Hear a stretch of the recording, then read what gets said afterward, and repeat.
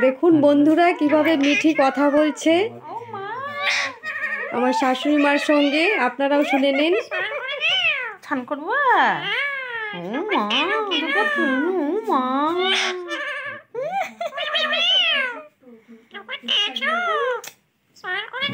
হুম, করে।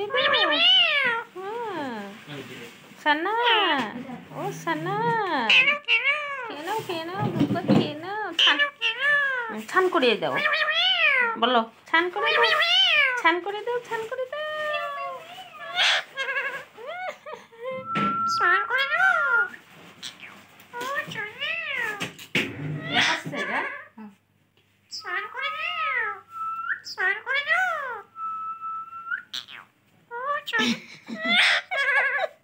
দেখুন কীভাবে হাসে ও।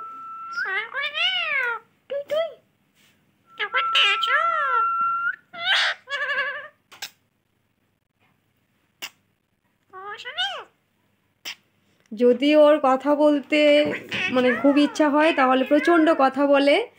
এইভাবে ছাড়া থাকলে। আর যদি এইভাবে কথা শুনতে চান অবশ্যই কমেন্ট করে জানাবেন আপনারা। খেয়ে নাও খেয়ে নাও। হ্যাঁ দুধ দাও। চুমকি চুমকি বলো। চুমকিকে ডাকো তো। চুমকি। এই যে শোনো চুমকি। চুমকি। এই যে এই যে শোনো। এই যে শোনো শোনো। চুমকি। এই যে শোনো শোনো শোনো। এই যে শোনো। চুমকি। বলো। বিড়াল আসছে যাও যাও। এই যে কুকুর আসছে। হ্যাঁ। হ্যাঁ, দেখো। আ, কুকুর আসছে। কুকুর আসছে। যাও। যাও যাও যাও যাও যাও যাও। ও শানু আমার ছেলের নাম শানু। শানু বলে ডাকে ও শানু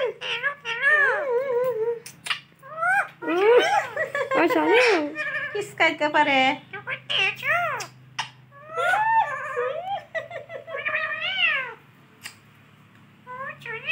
ও সানা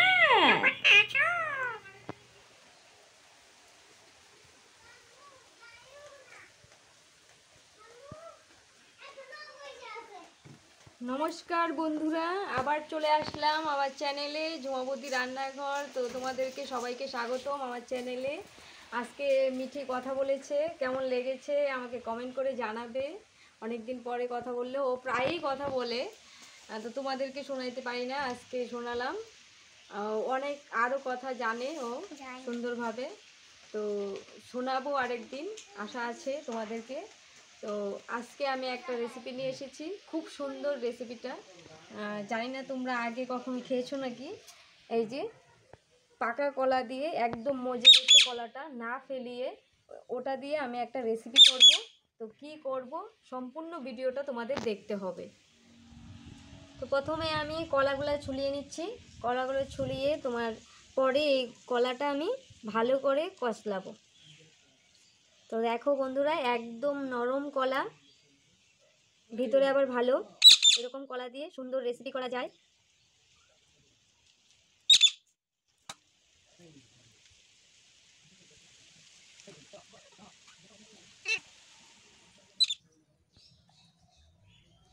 ছোলানো হয়ে গেল, আমি এখন কলাটাকে কষলিয়ে নেব ভালো করে।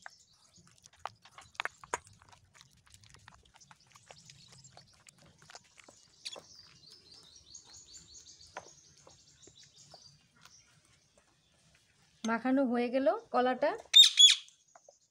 কলা মাখানোর পরে আমি এটার মধ্যে যে জিনিসটা দিব, এটা হলো চাল বাটা। আমি চালটা বেটে নেব, কারণ চাল বেটে দিলে খুবই ভালো হয়। আর যদি পারো তোমরা, তাহলে ইসে করবা। মিক্সিতে গুঁড়া করে নিবা। আর এখন আমি এটা দশ পনেরো মিনিটের মতো ভিজিয়ে রেখেছিলাম। এটা আমি এখন বেটে নেব চালটা। যে জিনিসটা করব, চালের গুঁড়া অবশ্যই লাগ, দরকার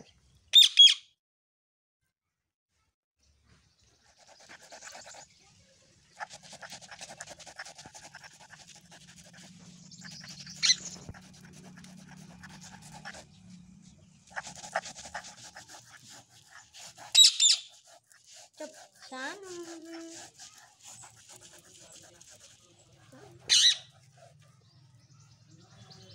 হয়ে গেল বাটা। এরকম দানা দানা বাটতে হবে। একদম ফিনিশিং করলে হবে না। দানা দানাটা করতে হবে। এটা আমি দিয়ে দেবো এখন। এই কলাটা যে মেখে রেখেছিলাম, ওটার মধ্যে দিয়ে দেবো। তো বন্ধুরা, শেষ পর্যন্ত ভিডিওটা দেখো। কি বানানো হচ্ছে এটা? খেলে খুব টেস্টি। পাকা কলা দিয়ে। এটাতে আমি আরও অনেক কিছু দিব।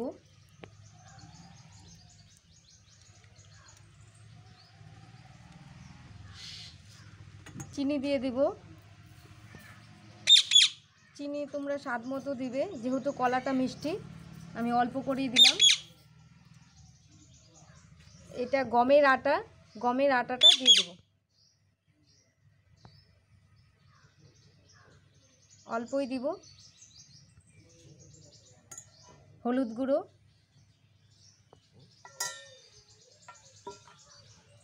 আর এটাতে আমি নারকেল চিনি দিয়ে একটু ভেজে রেখেছিলাম, ওটা দিয়ে দিব আমি। নারকেল এটা।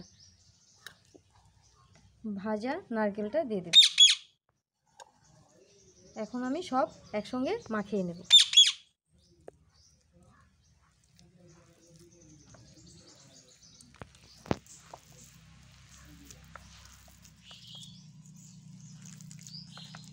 এটাতে আমি জল দিব না, যে কলার রসটা আছে ওটার মধ্যেই আমি চাল আর আটাটা মাখিয়ে নেব।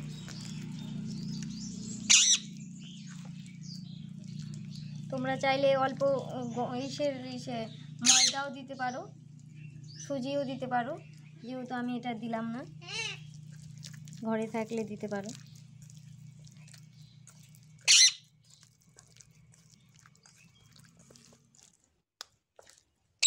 এই যে মাখানো হয়ে গেল, এইরকম নরম রাখব, বেশি শক্ত করব না। এখন আমি কড়াইটা বসিয়ে দেব। কড়াই বসিয়ে দিলাম। এখন আমি কড়াইয়ের মধ্যে তেল দিয়ে দিব। তেলটা একটু বেশি করেই দিব।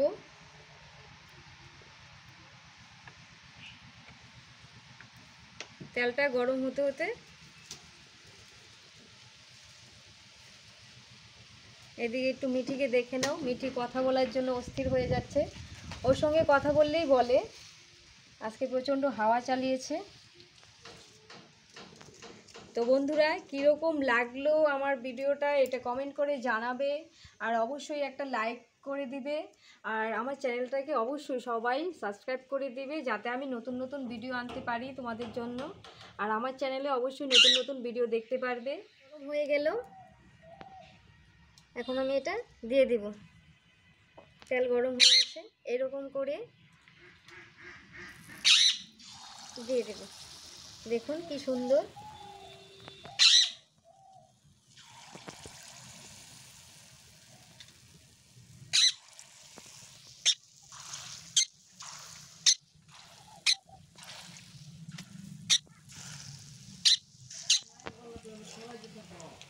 উল্টিয়ে নিব।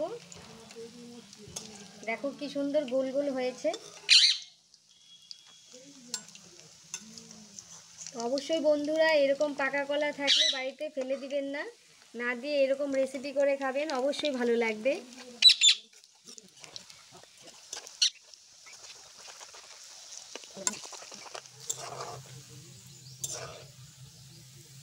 ভাজা হয়ে গেল, উঠিয়ে নেব।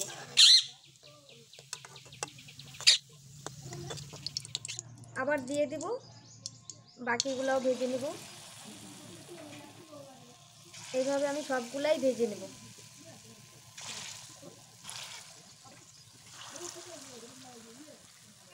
তো কেমন হলো বন্ধুরা? অবশ্যই কিন্তু আমি বারবার বলছি, এভাবে করে খাবে আর কেমন হবে টেস্টি একটু আমাকেও বলবে কমেন্ট করে।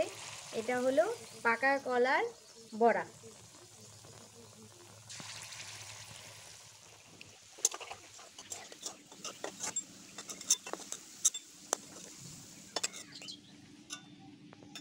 তো বন্ধুরা, হয়ে গেল আমার ইসে কলার বড়া রেসিপি তো কি সুন্দর করেছি, দেখেছ?